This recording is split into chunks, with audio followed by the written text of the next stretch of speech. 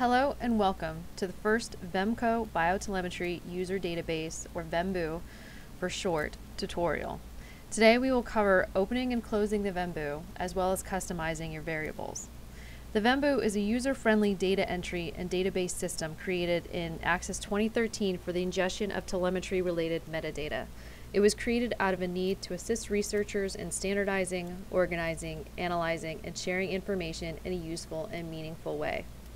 Before we open up the VEMBU for the first time, we need to be sure that we enable macros and access.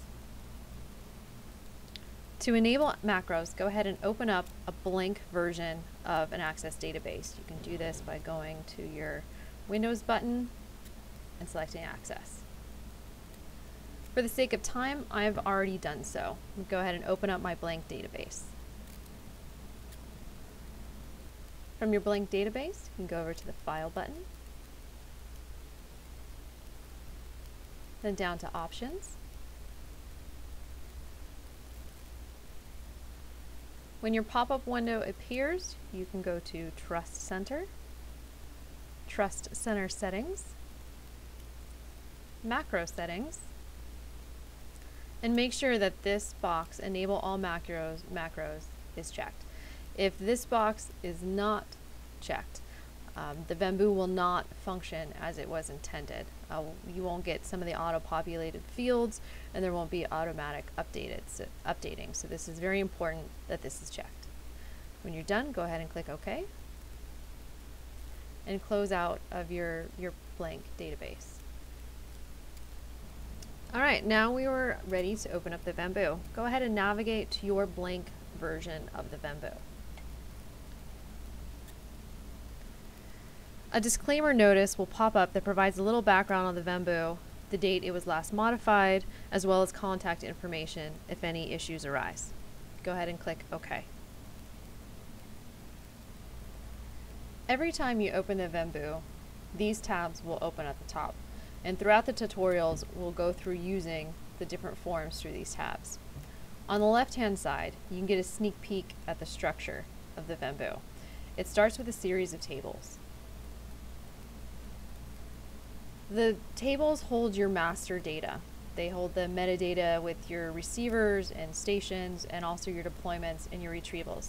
We will not be entering data directly into the tables. Instead, we will use a series of forms to enter data into the tables. Um, this is important to enter data this way uh, because the QA/QC rules are built into the forms, not in the tables.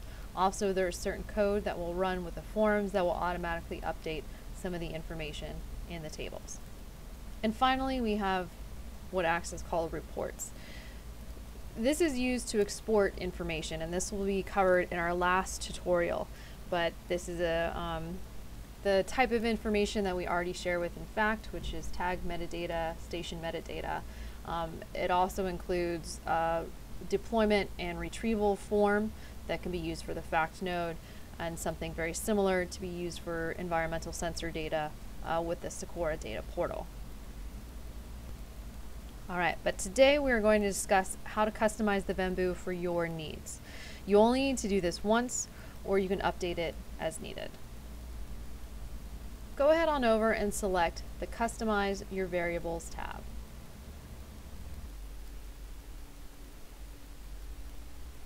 Data in this form are used to populate drop-down selections in the data entry forms. In short, by entering your variables here, you will not have to type the same information and over and over again.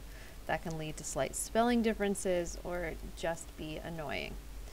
So this is a long form that we can use the bottom and scroll back and forth. You can see that some of these columns are already pre-populated. We'll go through each of them, but in the pre-populated columns, if these responses already suit your needs, then we would recommend that you try and use one of these. If not, you can always add to it to customize. But there are some columns that are fully blank. So let's start here with the array shortcode. The array shortcode is a six alphanumeric code that is tied to every one of your downloads. You only need one array shortcode.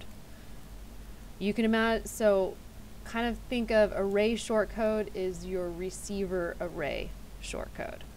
For this example, I will use TEQ for the Tequesta Field Lab. if between if when you are moving between columns you get a little error that says something like add new problem i don't know exactly why that comes up um, i doesn't always come up for me what i have found the easiest solution is actually just to shut down and reopen up the vembu and it tends not to appear okay on to project the project list includes all the projects you work on this is useful information to keep track of what receivers were bought under what project, etc. For this example, I will use two projects. I've named the projects after the funding source, but again, you could use any sort of project name that is meaningful for you. Now we move on to state. This is the main state or territory where your receiver array is located. So if you happen to have two arrays in say two different states or maybe in vastly different areas, you could add to it here. But right now it is defaulted to Florida. Your tagging shortcode is kind of like your array shortcode, but it just handles your tag information. It's a six alphanumeric code that is assigned to each tag.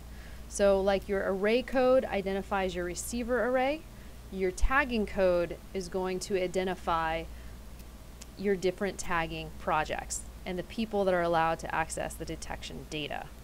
So the tagging shortcode keeps track of who is allowed to access detection data from the fact node. For example, I have two projects here. In one of these projects, I have a collaboration with group with people A, B, and C.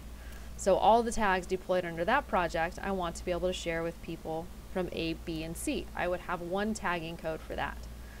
Under this project, I deployed tags with people D, E, and F. So I would have a second tagging shortcode to recognize that for all the tags associated with that shortcode, they can only access that, that information. Okay, so we have entered two tagging shortcodes that represent um, the two different groups, the two different collaborations that we support. Okay, common name and scientific name are pretty self-explanatory. Okay, so we have filled in common and scientific names of all of your study specimens. Next is tagging organization. This is your organization that is deploying tags. You don't need to list your collaborators here. Again, pretty self-explanatory, your tagging PIs, or who is listed as the PI on those tagging studies. And then we have taggers. This has been a, a, useful piece of information if you like to keep track of it. It's useful for IACUC reporting, like who tagged what fish, and even internal reporting. How many surgeries has John Smith report, re, uh, performed? And I've filled in taggers and I just scooted down a little bit. Um, so next we're on length other types. There are places in the Vembu or in the tagging form for standard length, fork length, and total length. But if you take any other length types, you can go ahead and add them in here. Um, say, for instance, uh, you're studying sharks, and you, you um, typically take a clasper length, or perhaps uh, mouth size, something like that. Again, you can go ahead and add them here. The same goes with sample types. Um, so it's pre-populated with DNA, um, sorry, I think it's actually pre-populated with DNA and isotope, but if there's another type of sample that you typically take, let's say perhaps gonad if you're studying reproduction or blood, anything else, again, you, you can go ahead and add it to the list. The bottom type, water body type, habitat type, and even attachment method are, are here to help standardize the information that you write down, but also being able to share with fellow scientists um, when a tag that doesn't belong to you is detected within your array. So, for example, a tag owner may ask the array owner what the bottom was like around the receiver to add into their analysis. So if we can keep to all the same wording, then it's much easier to share. Um, the bottom type and habitat types, these are based off of um, reporting or permitting requirements or um, words that are used during permitting. Uh, so again, if this applies to you, great, you can use it. If it doesn't, if you have something very different, then you can go ahead and, and add to it. Again, same with water body type and habitat type. and attachment method. Move on to sensor type. These are the typical types of environmental sensors, but if you tend to use something different, again, you can you can add this uh, to the list. And receiver types are based on the current receivers that are manufactured by Vemba, by Vemco. Vemco, sorry. All right, when you're done, we can click Save. And that is actually it for the first tutorial. You're now ready to use the VEMBU. You know, please see tutorial two for adding equipment. Thank you and good luck.